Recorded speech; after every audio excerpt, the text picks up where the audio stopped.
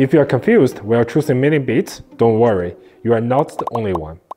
Hey, in this video, I will shortly tell which kind of tools a beginner has to have in their collection. This is top milling bits. My name is Liu, this is Wattsan. Subscribe and join our growing community of CNC enthusiasts. Let's start.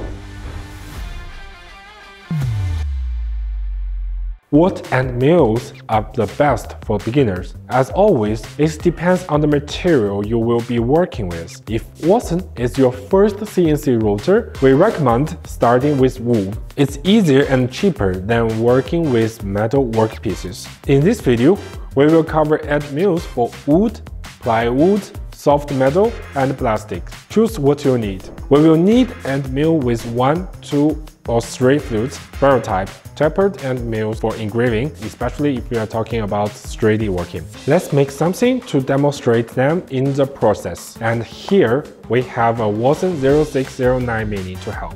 This little CNC router allows working with plastic, acrylic, wood, plywood, aluminum, and other soft metals Thanks to the machine's weight of 175 kg, cast iron body, and all-axis ball screw, Wattsan was able to install the power spindle in this model. So, it's small but very mighty. Spindle power is 2.2 kilowatts and it has a RPM equal to 24,000. Soft metals.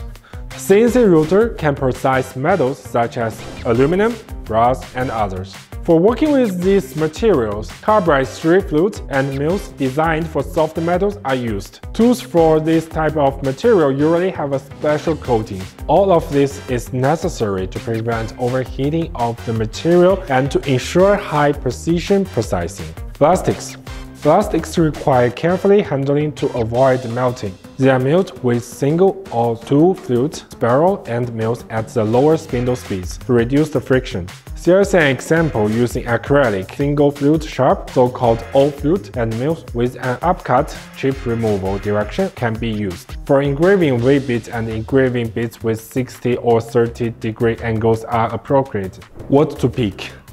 This choice is based on the material you will be working with, so look at this first of all. However, it is better to have a wide collection of the mills at the end of the day to be able to perform more tasks or in case of a breakage emergency. Do you have any question left? Write them down in the comments below. And don't forget to give us a like and subscribe so you won't miss the next video. My name is Liu, bye bye.